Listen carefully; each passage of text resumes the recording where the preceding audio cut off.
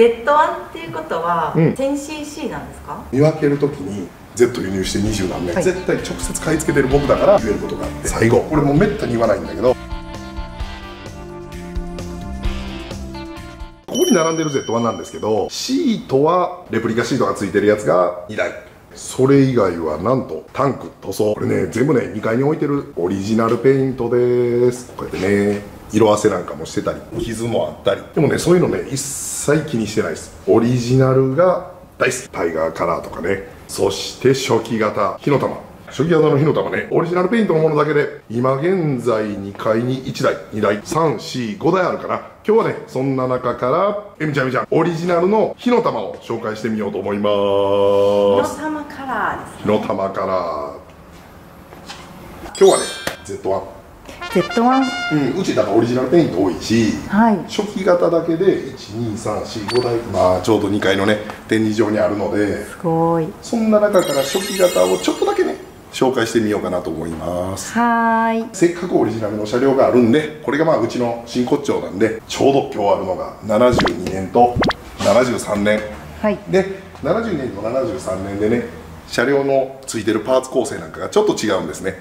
でめちゃくちゃ細かいところまで話をするともうマニアの話みたいに聞こえてくるので 本当にオリジナルをねお探しのお客様が来られた時は僕が責任を持ってきちっとご説明するんですが今日はね火の玉に興味を持ってもらおうということで触りだけね少しこうお話ししてみたいなと思います。はーいえじゃあこれがねいわゆる初期型の Z1 っていうものになります。はい。こっちがね1973年はい。10月生産。番号にしてね大体1万7000番台。ちょうど1万7000ぐらいの車両になります。Z1 は1番から始まって2万番台までいくと73年6月ぐらいから生産が始まるんですけどこの Z1A というモデルになります。この大体2万番台弱、まあ、1万8000、9000何がしまでがこういう初期型広型なんですけど、こっち側がね1972年の6月生産でいわゆるまあ Z1 の中では72モデル72モデルって言われるんですけど、はい。まあ、実際は72モデルっていうのはもう後からできたもので、はい。本当は73年モデルを72モデルと72年に作られたものをそのように呼んでます。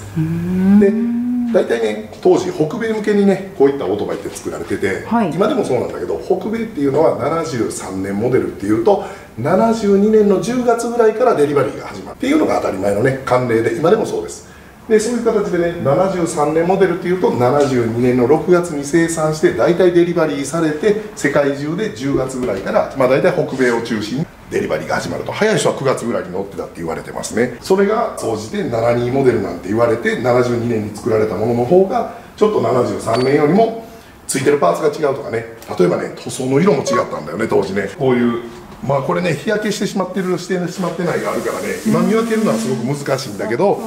ここの幅が違ったりね塗装の色が違ったりというのがねまあありました。とりあえずね大まかに見て何が違うかっていうのを説明していきたいと思います。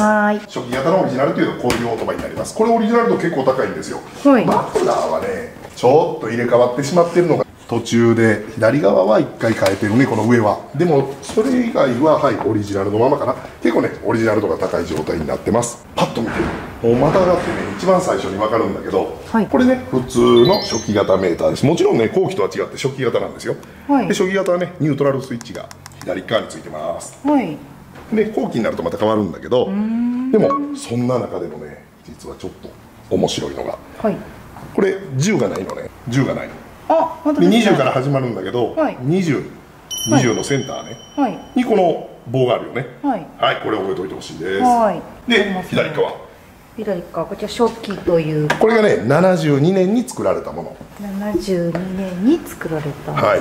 これもね10はないんだけど20のね、はい。下にね線が合ってるんだよね。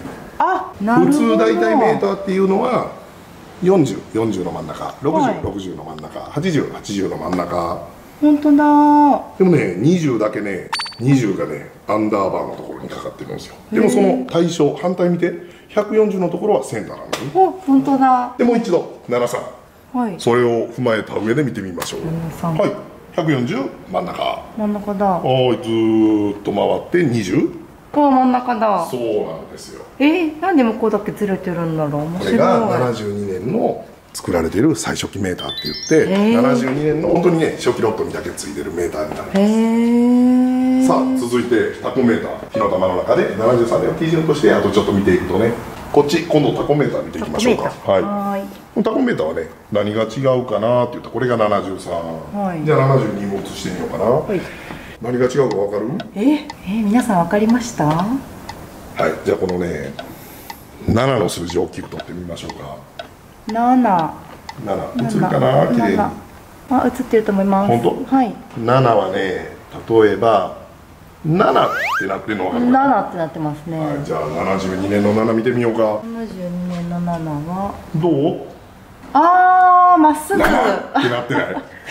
七ってなってますね。おお字のねあ。シルクスクリーンのね当時の印刷のね字が違うんだよね。へえ面白い、はい、これがねまあパッと見て72年と73年のメーターのねパパッと見分け方かな。それって本当に少ないね。数少ない車両にしかついてないやつなんで、あんまりね気にすることはないです。ただ番号通り当時生産されたこの番号にはこれがついててほしいっていう部分で言うとこだわる方には欲しい部品ではあるんですけどでも走る時に一番大切なのは安全に走れること。メーターがきちん。と表示されていること、そんなの方がね大切なんでね。あくまでこれは豆知識で見といていただければと思います。ただそこにこだわりたいお客さんっていうのにも対応はできるので、まあ、そうやってこだわってね実は結構な台数ね。まあ数千台どころでは効かない。昔ね何年ぐらい前かな？26年足掛け27年ぐらい、えーこの Z1 っていうのを世界中で探して僕持ってきてるんだけど、だいぶ前に数えた時に78000台いったのかな？もう輸入台数が。Z だけでそれぐらいいってたはずなので、はい。今だと結構な台数輸入してきてるんでたくさんのものを見てきてるので、はい。実はこの番号にはこれとかこの番号の時はどうだったっていう写真、えーデータ全部ね実はコンピューターの中に残ってます。だけどだからどうではないんですね。それをやっぱり知りたいお客さんもいるし特にねオリジナルで残ってるやつっていうのは何がオリジナルかを見分けるね一つの指標になるのでだんだんこれがどうかなっていうのは見て買うようにはしてます。で特にねワンオーナー車ですなんて言われた時にねストックのまま乗ってますかとかオーナーさんに聞くんだけどその時の指標になるのがいやこれもうオリジナルでワンオーナーなんだよ。あの何か変えた部品ありますか？ないよなんて言って見に行った時に実はねこれもそうなんですけど初期型のねキャブっていうのは下にねジェットをねチェックするボルトがついてるんですよ。はい。もう74年になったらついてないんだけどでもそういうのをねいや変えたこともないよなんて言いながら変わってるとね高く売ろうとしてるなとかそういうところでね結構見分けたりします。で今ねキャブの話になったんでねこれが73年の普通の初期型のキャブです。はい。じゃあ72年の最初期型になると何が違うかなと思ったら、えじゃあこれここにねこうこれリブっていうんだけどはい。これついてるんですね。はい。じゃあ72年見てみようか。トゥルトゥル。あ本当だ。そう。これねリブがついてないんですね。でリブがついてないってことはどういうことかっていうとやっぱ強度不足とかセンターが出にくいんですね、そんなんで改良されてすぐリブ付きできちっと大量生産されるようになりました。だから本当に初期型の72年最初に最初のデリバーでね海外行ったやつだけがこのようにリブのついてない。キャブがついてます。へえまああとね最初期型もこのブレーキがどうとかとか何がどうとかとかここのボルトがどうとかとかいろいろあるんですけど、はい。まあ、そういう細かいところはねあまり今回ね触れないでおこうと思うので、まあ、パッと見た感じで言うとそんな感じでなります。あとね大きく違うのはフロント周りいきましょうか。はーい。えみちゃんちゃんこれ、はい。どう？この形とこの形って一緒に見える？はい。はい。え？パッと見。わからないかな。わからないそうか。じゃあこっち側から見てみようかな、はい。前から見てみて。これ73年の初期型のフォークです。はい。でこれが72年の初期型のフォークです。これねここがテーパーになってないのが分かるかな。ここまっすぐ。こっちはシュッとテーパーになってお山さんになって。おーすっごい。こんな細そう。かいだからねこれね実はね大きさが違うんだよね。あ。このちょうどフロントフェンダーを止めてるところから見るとよくわかるんだけど、はい。こっから一度膨らんで高テーパーになってます。はいはい。これそっから来てそのままテーパーじゃなしにねまっすぐ抜けてるんですよね。あーなるほど。えー、なんか間違い探しみたそう。いなこれあの 間違いもあるかもしれないけど一説にはやはりすごいヒット商品になってはい。大量生産するにあたって、はい。肩から抜くのにテーパーになってないと大量生産できなかったっていう話を聞いたことがあります。だから数をたくさん作ろうと思うと時間を短縮するのにテーパーのついたフロントフォークにすることによってどんどんどんどん生産性が上がったっていうふうには聞いてます。あとはね M ちゃんちゃん、はい。これブレーキキャリパーね。ちょっとね、うん。塗装はね落ちてしまってるんだけど、はい。このブレーキキャリパー、まあ、こういうイエローマークついてるのはこれちゃんとトルクでとあの締め付けましたよっていう当時のね新車で組んだ時のがそのまま残ってるんだけどこれまだ8000マイルのバイクなんでね、はい。でねこの中を見てほしいんだよね。ボルトの中なんか中の、うん。普通にトゥルッとしてないこの中のことですよね。はい。じゃあこっちが72年の中どうなってるかな？はボルトの中。星型になってない。わ本当だ。あなってる。そう。使われてるボルトなんかもね年式作られた時によってね違ったりするんだよ。へえ、はい。でもそれはもうここまで。もうこれ以上ねマニアックなことばっかり言って嫌われちゃうんで なるほど、でもねすごい。そういうのもあるしあとはね初期型といえば後期型と違ってはいショートピッチ。ショートピッチ？内プレス。内プレス。はい内プレスっていうのはプレス目がねタンクのプレス目がこの内側にあるんですね。おでこれはね Z1 全部です。へでえただ当時こけたりして75年の6月か7月以降に、はい。えー修理のタンクを取り寄せたら、はい。これがね内プレスじゃなしに外プレスって言って、はい。外側ちょうど見えるところでね、ん。プレスをされてるタンクに変わってます。でもねそんな火の玉のタンクもありました。はい、間違いなく。僕はねもう本当にねアメリカで新品のタンクも買ったことあるんだけどプレスがここにあってで火の玉塗装でこれがショートピッチって言って、ここの長さがはい。これぐらい。うんうん。でもこれがね実は初期型は全部そうなんですけどはい。73年6月以降に生産され始めたものははいここの長さがあ。ピッチがねこのネジのピッチが大きくなるんですね。本当だ。そう。だからね初期型のタンクっていうのは再塗装されてても内プレスでショートピッチ。っていうのはねこれが初期型の特徴になります。なるほど。そう。だからねリペイントであっても例えばここの幅が短くて、うん、でちっちゃいエンブレムがついてるってなると、結構初期型のね希少なタンクの可能性があるんではい、その辺で見分けてもらえればと思います。で今ね外プレスの初期型のタンクはちょっとないんだけどはい。当時部品で1975年以降にはい。部品で注文した火の玉タンク初期型のタンクはい。っていうのもね手には入ったんだけどその時は外プレスでロングピッチで火の玉。はい。っていうのがね純正部品で出てました。でもこれねちょっと今持ってないんでね、はい。言うとこれがその当時に作られたものでこれはちょっと KZ900 と Z1 の最終形ね、はい。のものになるんだけどこれがね外プレスって言ってさっきと一緒でここまではこうなんだけど、ここから内側にプレスしてるんじゃなし外側でね最後までプレスされてるのが外プレスって言います。本当だ形が違う。そうちなみになんだけどこれは1975年。これねアメリカで作られてるんだよね。へえだからねアメリカで生産されてたものっていうのはエンジンは日本で生産してたんだけどこれは実はアメリカでアッセンブリードされた Z1 の最終形になります。ですね。それはね見分ける方法としては、はい。頭がね5で始まるやつがアメリカの林間工場で作られたものになります。Z1F-5 で始まったりとかへ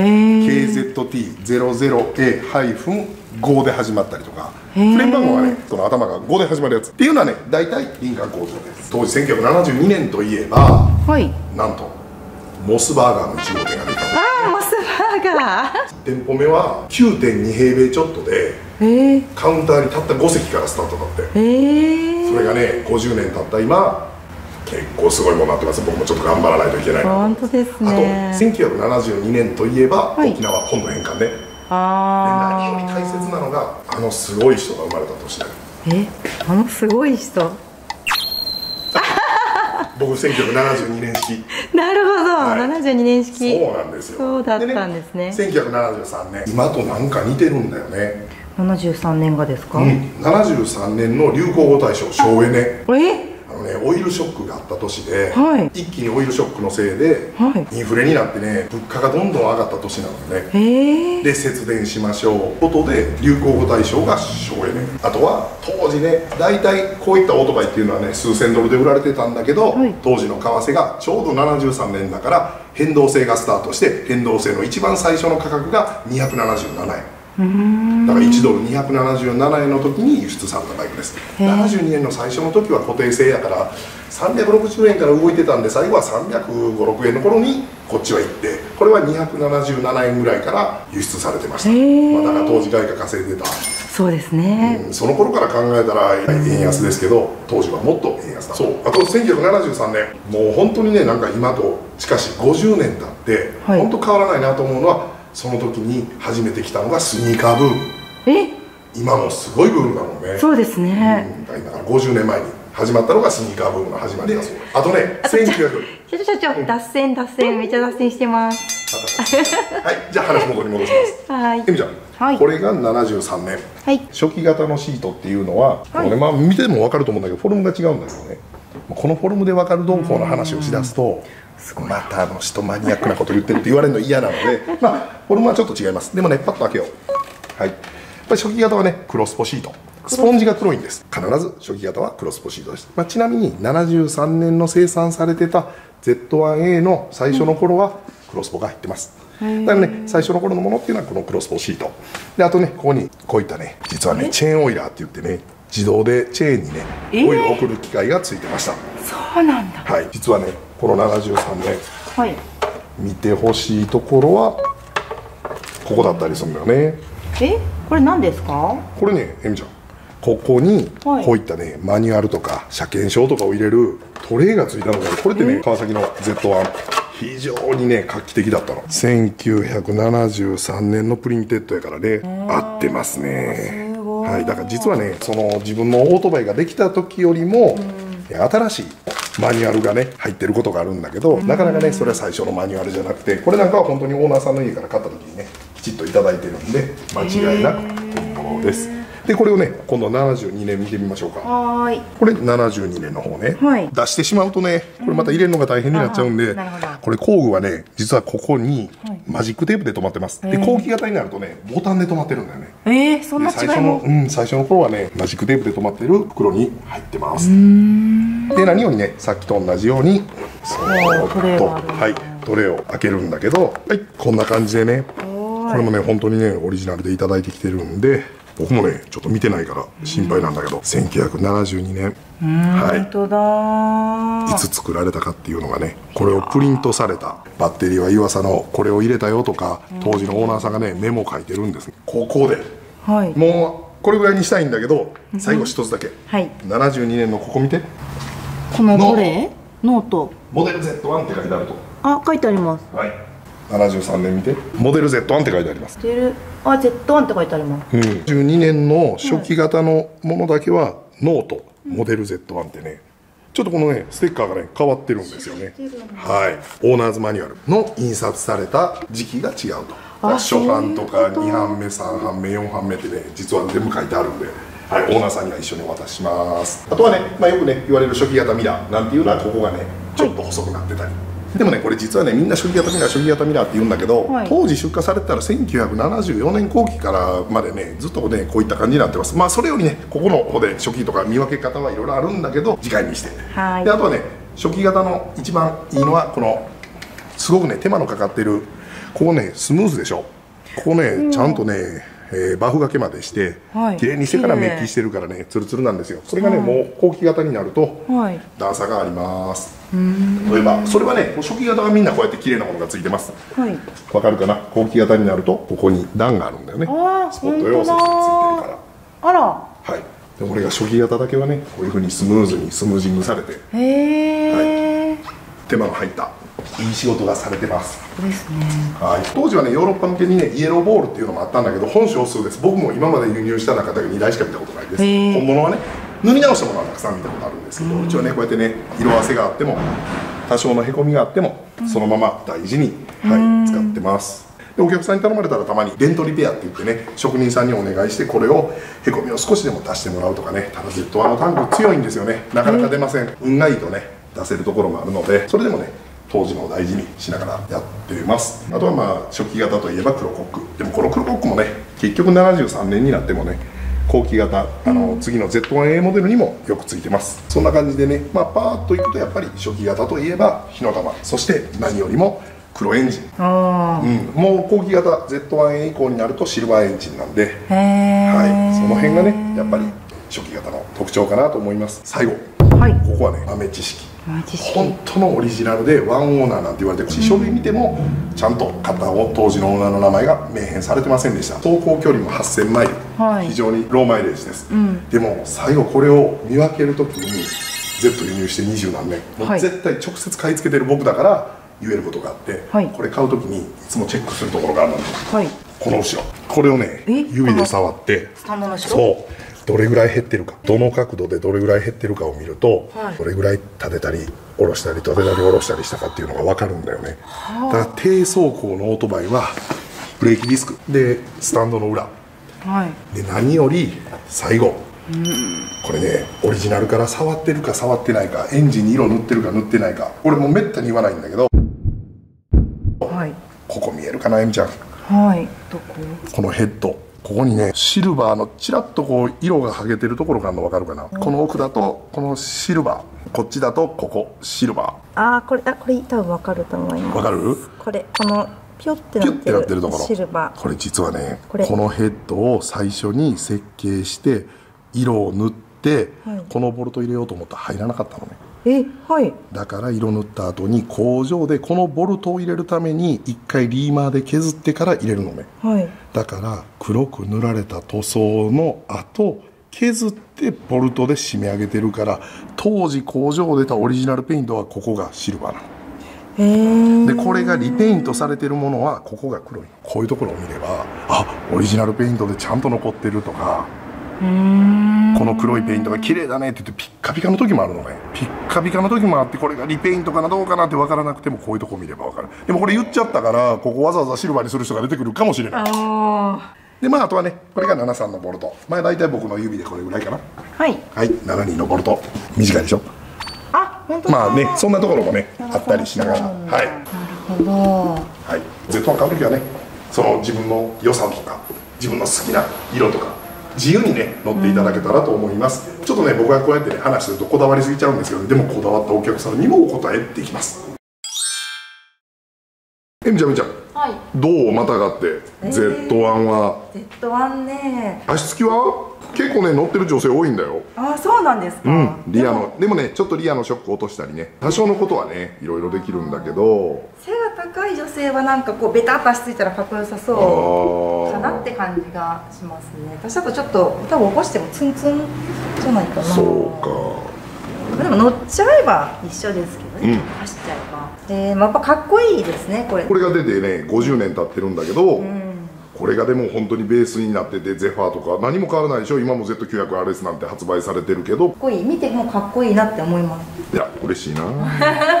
まあでもやっぱでかいなーって感じがしますね。タンク。横で見るよりもまたがった方が大きく見える。っ大きく見える。てみんな言うよね、社長。こん？れって Z1 っていうことは、うん。1だから 1000cc なんですか？いやいやいや 1000cc じゃない 900cc だよ。900cc なのそう隣のエンブレム見てみて。ああ本当だ。こうんれ900って書いてあるでしょ。900って書いてある。しかも、はいこれ何ですか？ダブルオーバーヘッド何？ダブルオーバーヘッドカムシャフト？あカムシャフト、うん。え何ですか？それが DOHC じゃん。DOHC、うん。DHC はねお肌の。そう。ズバリ Z1 は欲しいですか？うんちょっと欲しい社長の乗らせてもらおうかな、うん今ちょうど作ってるからね。またぜひ出来上がったら乗りましょう。はい。お願いします